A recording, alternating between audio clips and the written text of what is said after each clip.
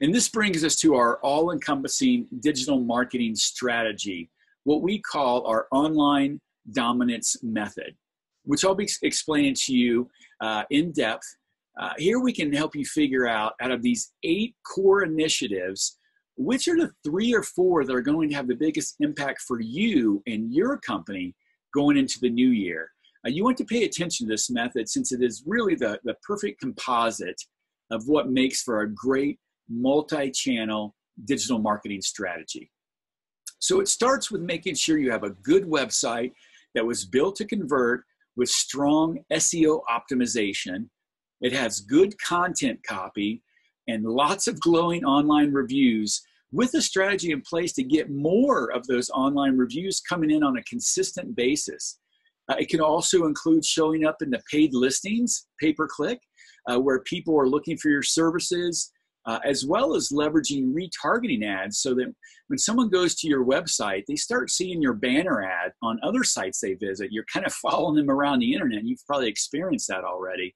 Um, so this can draw them back to your site to, to turn into from a shopper, now you convert them into a customer again because you keep that top of mind presence that actually brings them back to you.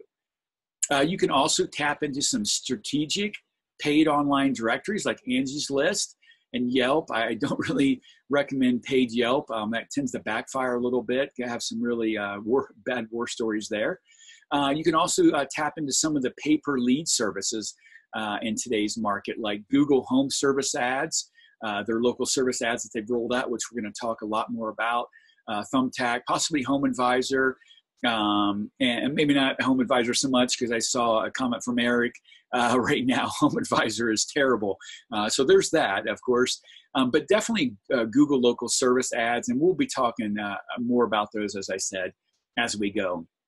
So, really, the goal here is to put together a really strong strategy that connects with your customers uh, and then also uh, to follow up with them, you know, via email marketing, social media, even some printed follow up, uh, like thank you cards and things like that, to really maximize your true potential online.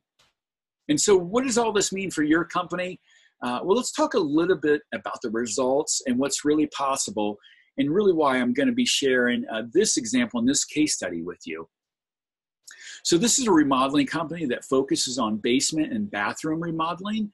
Uh, and although they have a, a good reputation online, uh, they just really weren't getting the call volume that they needed to sustain their, their growth ambitions. Um, as you can see with this search screenshot, uh, we actually know that they're, uh, they're getting some good results now.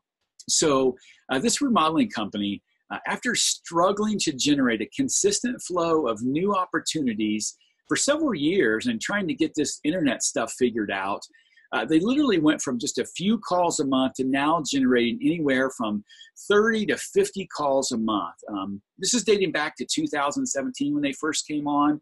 And so now, if we fast forward to, to current time, I just looked the other day, in fact, and between January and February this year, they received 97 new phone calls. So that's a heck of improvement in just two years' time uh, and, and, and, significant revenue improvement as well. So I mean, I can happily say that uh, this client is very satisfied with their new and increased lead generation flow. And, and, we're looking forward to working with them for, for many years to come. Biggest victory for them was just knowing that they had a consistent flow of leads that they could count on and this and then you know thus consistent revenue from month to month that they could also count on keeping their crews busy.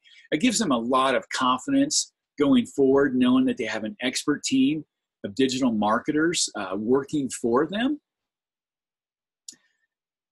So at this point i really want to hear from you guys right now. You know what would it mean to you in your business if you could generate an extra 30 40 60 leads per month and you know heck even an extra 10 or 20 leads per month may be huge boost for some of you to really feel like you have a scalable model and so I do want to hear from you guys in the comments right now. I want to make sure you're getting clear about your why. Everything moves so much quicker and you'll pay more attention and, and, get more value out of this if you really understand you know what what something like this would mean for your business how this could really drive your revenues and, and drive your success david just posted i could really use 60 more calls yep no doubt we all could right javier says uh, more freedom and more time with my family Excellent. Yeah, absolutely. Mary says our craftsmen sure would be happier knowing they have more work coming in on a consistent basis.